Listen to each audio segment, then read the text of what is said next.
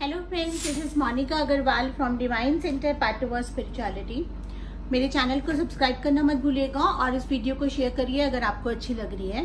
तो आज के वीडियो में हम बात करेंगे श्राद्ध जो कि शुरू हो रहे हैं कल से। श्राद्ध पहले होते क्या है? क्योंकि बहुत सारे लोगों को ना श्राद्धों को लेके काफ़ी कंफ्यूजन होता है, काफ़ी रिलीजन्स में इनको नहीं मानते हैं, मगर हिंदू रिलीजन्स में मानते हैं even north Indian south Indian सब लोग इसको मानते हैं। तो इसमें ये होता क्या है एक्चुअली और देखिए, कुछ मिथ तो ऐसे हैं कि लोगों ने बहुत डराने के लिए बनाए हैं। कुछ चीज़ें ऐसी हैं जो उसमें कहीं ना कहीं कोई साइंटिफिक फैक्ट्स रहते हैं और कुछ ना कुछ हमारे पुराने एस्ट्रोलॉजिकल या डिवाइन फैक्ट्स हैं जो असर करते हैं। तो क्या चीज़ हमें माननी चाहिए, क्या चीज़ नहीं माननी चाहिए? सबसे पहले जो श्राद्ध होते हैं, उसको पितृपक्ष भी बोलते हैं। पंद्रह दिन का लूनर डे का पीरियड होता है, जहाँ पे जो हिंदूज होते हैं, जितने भी हिंदूज हैं, वो होमेज मतलब यानी कि वो एक तरह से श्रद्धांजलि पे करते हैं जो हमारे एंसेस्टर्स हैं, जो हमारे डिपार्टेड वंस हैं, जिनकी, उनकी सोल की शांति के लिए हम ये करते हैं। साउथ इंडियन अमावस्या के अकॉर्डिंगली ये लूनर मंथ में भद्रा प्रदा को शुरू होता है फुल मून वाले दिन और day after full moon day या तो या तो फुल मून के अगले दिन या फुल मून वाले दिन भद्र भद्र जो भी कैलकुलेशन होते हैं साउथ इंडियन कैलेंडर के अकॉर्डिंगली नॉर्थ इंडियन के अकॉर्डिंगली पूर्णिमंथ कैलेंडर जो कि लूनर मंथ में जब अश्विन बिगनिंग होती है तब वो शुरू होता है। लास्ट डे जो पितृपक्ष होता है उसको सर्वपित्री अमावस्या या महाल्या अमावस्या कहते हैं।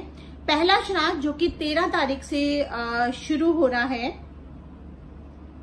यहाँ पे हम लोग कई लोग इसको तेरह तारीख से मान रहे हैं कई लोग इसको आ, कल से मान रहे हैं सॉरी ये कुछ कैलकुलेशंस हमारे हमेशा आजकल हिंदू कैलेंडर्स में गड़बड़ हो रहे हैं, कई लोग दो दो दिन बना रहे हैं। तो पहला श्राद्ध जो है वो पूर्णिमा श्राद्ध है, दूसरा प्रतिपदा श्राद्ध है, तीसरा है द्वितीय श्राद्ध, चौथा श्राद्ध है तृतीय श्राद्ध, फिर है महाभारिणी श्राद्ध, उसके बाद पंचमी श्राद्ध, षष्ठी श्राद्ध, सप्तमी श्राद्ध, अष्टमी श्राद्ध, नवमी श्राद्ध, दशमी श्राद्ध, एकादशी श्राद्ध मगधा श्राद्ध और चतुर्दशी और सर्वपित्र अमावस्या। ये आ, है जो वैसे जो श्राद्ध शुरू हो रहे हैं वो कल से शुरू हो रहे हैं। कल से आपके श्राद्ध शुरू हो रहे हैं और पंद्रह दिन तक रहेंगे। श्राद्धों के दिनों में हमें क्या करना चाहिए, क्या नहीं करना चाहिए? जब हम अपने डिपार्टेड वंस को याद कर रहे हैं, उनको हम श्रद्धांजलि दे रहे हैं तो डेफिनेटली हम इन दिनों में कोई ऑस्पिशियस काम नहीं करते हैं, क्योंकि हम उनको श्रद्धांजलि दे रहे हैं। तो एक तरफ़ हम उनको श्रद्धांजलि दें और दूसरी तरफ़ हम ढोल नगाड़े बजाकर कुछ अच्छे करें। श्राद्धों के दिनों में शादियाँ नहीं होती हैं, कोई एंगेजमेंट्स नहीं होती है, कोई जो बिज़नेस है, उसका मुहूर्त नहीं होता है। शादियों के दिनों में हम कपड़े भी नहीं खरीदते हैं। उसका क्या फैक्ट है कि हम जब भी हमारे जो लव्ड वंस हैं, यानी कि जैसे मान लीजिए हमारे ग्रैंडफादर हुए, हमारे ग्रैंड मदर हुई, जिनका भी हम श्राद्ध इन दिनों में कर रहे हैं, हम, पंडित जी को या जिनको भी कपड़े दान करते हैं तो जब हम जो चीज़ दान कर रहे हैं, उसको हम नया अपने लिए नहीं खरीदते हैं।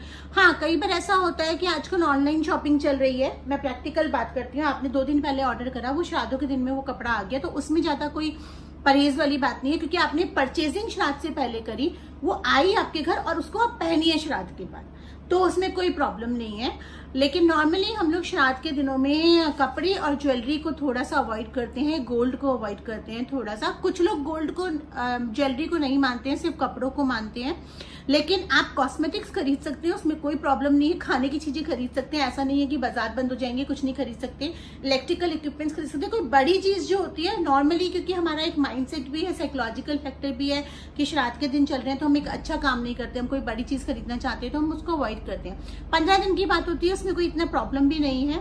आप श्राद्ध के बाद ही बुकिंग करा सकते हैं। लेकिन जो स्पिरिचुअल आइटम्स होते हैं, जैसे कि हीलिंग कैंडल्स हो गए ब्रेसलेट्स हो गए क्रिस्टल्स हो गए, ये सब आप ले सकते हैं, क्योंकि इसमें कोई परहेज नहीं है। मेनली कपड़ों का सबसे ज़्यादा परहेज रहता है और शुभ काम करने का सबसे ज़्यादा परहेज रहता है। यानी कि शुभ काम से रिलेटेड जैसे कि वेडिंग हो गया, मुहूर्त हो गया, इस तरह का, हवन पूजा वगैरह का जो होता है। लेकिन हवन पूजा होती है, हमारे अगर हमारा श्राद्ध किसी का घर में पड़ रहा है, उसके लिए हम हवन करा सकते हैं, उसके लिए हम पूजा करा सकते हैं, उसकी आत्मा की शांति के लिए गरीबों को खाना खिला सकते हैं। श्राद्ध के दिनों में जितना आप पितृ को जल देना जिन लोगों को पितृदोष की समस्या है, वो लोग पूछते हैं कि हम पितृदोष के लिए क्या उपाय करें। बहुत बड़े बड़े उपाय करने की ज़रूरत नहीं है।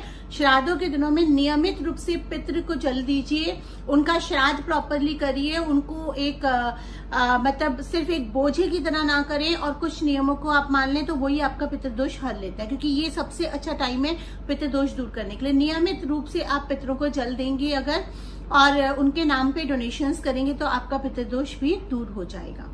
तो मैं तो भाई इन्हीं चीज़ों को मानती हूँ, मैं बहुत ज़्यादा अंधविश्वास में नहीं मानती हूँ, क्योंकि आजकल के टाइम में ये सब चीज़ें मैनेज भी नहीं हो पाती, फिर बहम रख लेंगे तो वो चीज़ें हमें साइकोलॉजिकल असर करती हैं, लेकिन कुछ चीज़ों को मैं डेफिनेटली मानती हूँ कि हमें करनी चाहिए, जैसे नया कपड़ा नहीं खरीदना, नया कोई काम नहीं करना। अब मान लीजिए अब आप बिज़नेस में हैं और नई डील्स मिल रही है तो वो तो आप करेंगे ही करेंगे, लेकिन अगर आपने कोई नई जगह ली है, मान लीजिए आपने बिज़नेस प्लेस लिया है वहाँ पे मुहूर्त करना है तो वो अवॉइड करते हैं। नया मकान लिया है, वो हम श्राद्धों में अवॉइड करते हैं। कोई बड़ी चीज़ ली है, वो हम अवॉइड करते हैं। शादी एंगेजमेंट रिश्ता पक्का करना, ये सब हम अवॉइड करते हैं। तो आई होप आप लोगों को ये क्लैरिटी मिल गई होगी कि पितृपक्ष में या श्राद्धों के दिनों में क्या करना चाहिए, क्या नहीं करना चाहिए। हाँ एक चीज़ और है। जो लोग नॉन वेजिटेरियंस हैं, मैं उन लोगों को रिक्वेस्ट कर सकती हूँ, देखिए फोर्स तो कोई नहीं कर सकता है। मानना ना मानना आपकी बात है। नॉन वेज भी आप इन दिनों में अगर ना खाएँ तो सबसे अच्छा रहेगा। नॉन वेज तो आप महीने भर के लिए भूल जाएँ, क्योंकि पंद्रह दिन श्राद्ध के हैं, उसके बाद आपके नौ से दस दिन आपके माता रानी के आने वाले हैं। तो नॉन भी अगर आप अवॉइड कर रहे हैं तो ज़्यादा अच्छा रहेगा, क्योंकि ये दिन हमारे श्रद्धांजलि देने के होते हैं। इन दिनों में हम नेगेटिव चीज़ों से जितना दूर रहे उतना अच्छा है। जो लोग नॉन वेजिटेरियन है उनको शायद ये चीज़ हर्ट कर जाती है। वो लोग मतलब उसके साइंटिफिक मेडिकल बहुत सारे प्रोस एंड कॉन्स हैं बहुत सारे आ, मतलब अगर आप आर्ग्यूमेंट करने चाहेंगे तो बहुत सारे तर्क वितर्क निकल आएँगे। लेकिन फैक्ट यही है कि नॉन वेज नेगेटिव है तो नेगेटिव है। वो आपकी बॉडी में नेगेटिव वाइब्रेशंस जनरेट कर रहा है।